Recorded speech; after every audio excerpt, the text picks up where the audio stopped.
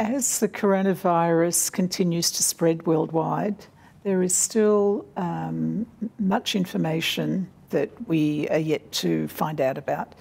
There are many things that we know, and there are some things that are um, that we read or hear about that may not be accurate.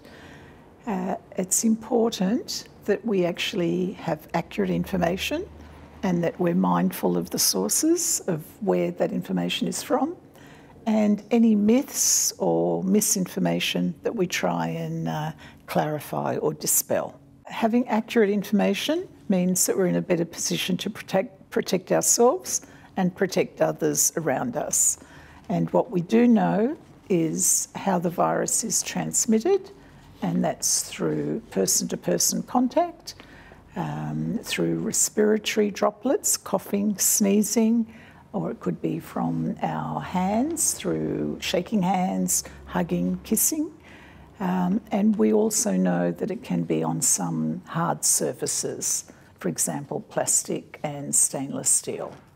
We also know that the best way to prevent the virus is through regular hand washing with warm soapy water uh, or an alcohol based um, sanitizer, uh, and also through regular cleaning of hard surfaces. And um, alongside that is keeping our distance socially uh, from, from, from each other.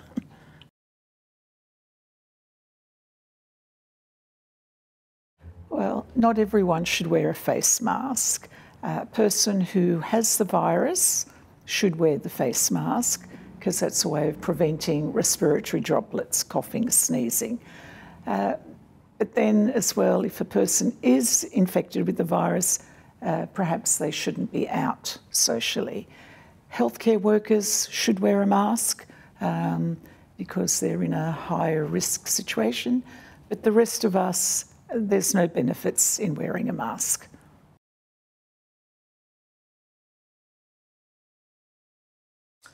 Some people believe that warm weather um, will slow the spread of the virus. It's not actually true.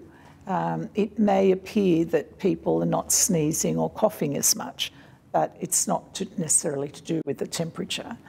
Some people uh, believe that cold weather might um, prevent the, the spread of the virus, and that's actually not true either.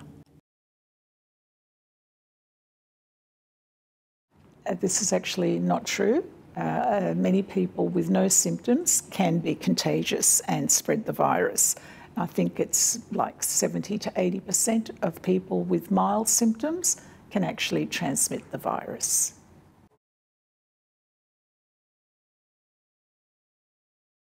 Uh, I think these are myths as well. Even though garlic may have many other benefits, um, it doesn't serve as a preventative measure, and there's no evidence that alcohol uh, prevents the transmission either. Hand dryers do not kill the virus. Uh, washing our hands with warm soapy water or a sanitizer and drying our hands uh, that will prevent the virus, not the dryer. There's no evidence that domesticated pets spread the virus, but it's always a good idea to wash our hands after having contact with a, a pet.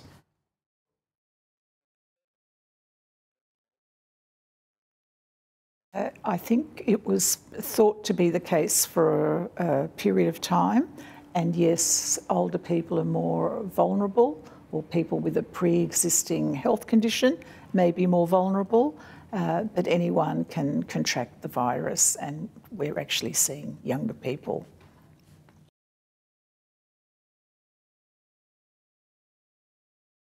No, the hot bath cannot.